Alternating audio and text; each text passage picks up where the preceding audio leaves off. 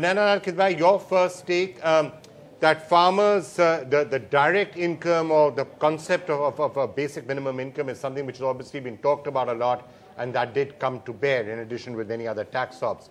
Farmers still, some of the farmers at least still seem to be saying that they would have preferred a loan waiver. What was your overall take on the budget?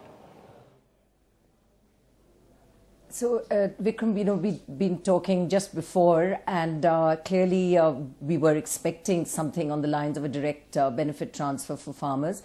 I think in the long run, that is the better move. Of course, it requires a whole rejigging of the way we uh, uh, finance farmers, and ultimately, if all the money that goes in some cases down the drain in terms of the subsidies and fertilizer subsidies, etc., actually goes directly to the farmer, that would be the right solution.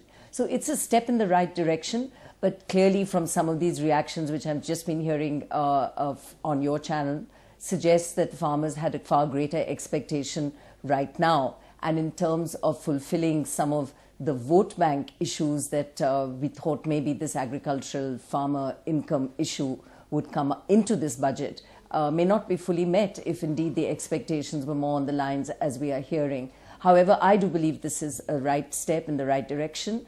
And uh, the second uh, interesting one in this budget is, uh, which has gone a little further than we might have thought in an interim budget, was playing to middle class India.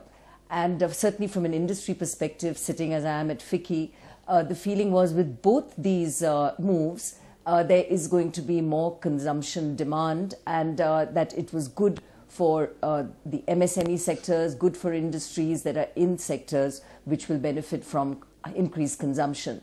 So in that sense, uh, the budget uh, is uh, uh pro-growth. My worry, Vikram, is on the fisc. Uh, 3.3 to 3.4 is what most people are seeing, but actually I think the commitment next year was more for 3.1. So we have to look at it more as 3.1 to 3.4. And uh, some wriggle room in the fisc is probably required, given that we need growth to return.